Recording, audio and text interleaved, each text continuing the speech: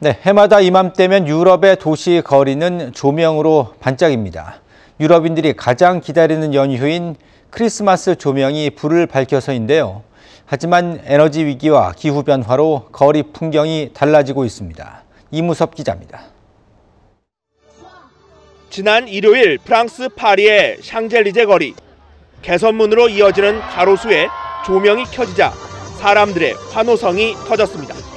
크리스마스 시즌이 시작됐음을 알리는 조명이 파리의 밤을 밝히기 시작했습니다.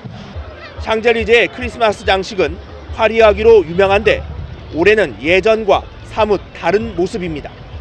파리시는 에너지 절감을 위해 해마다 조명 장식을 줄여왔는데 올해는 지난해의 절반으로 더 과감하게 줄였습니다.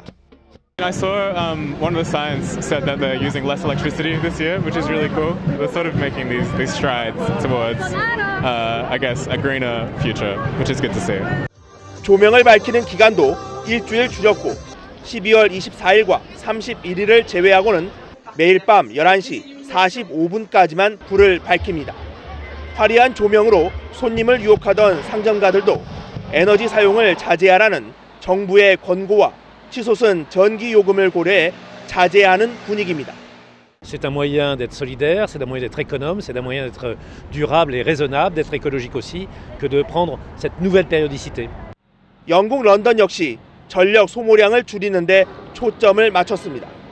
24시간 불을 밝혔던 점등 시간을 8시간으로 줄이고 재생에너지로 전력을 공급합니다.